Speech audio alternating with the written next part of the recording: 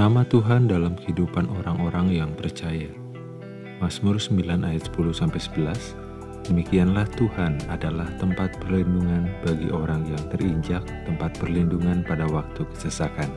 Orang yang mengenal namamu percaya kepadamu, sebab tidak kau tinggalkan orang yang mencari engkau, ya Tuhan. Keluaran 20 ayat 7, Jangan menyebut nama Tuhan Allahmu dengan sembarangan, sebab Tuhan akan memandang bersalah orang yang menyebut namamu dengan sembarangan. Ulangan 32 ayat 3 sampai 4.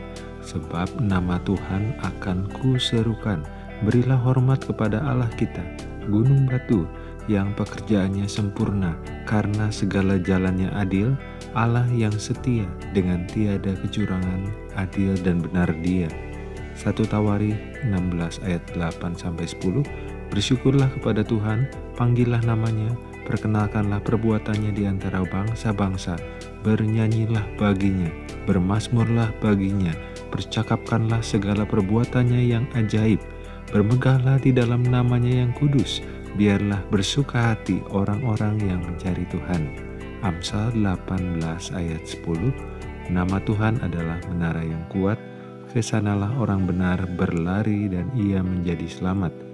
Yeremia 10 ayat 6 Tidak ada yang sama seperti engkau, ya Tuhan, engkau besar dan namamu besar oleh keperkasaan.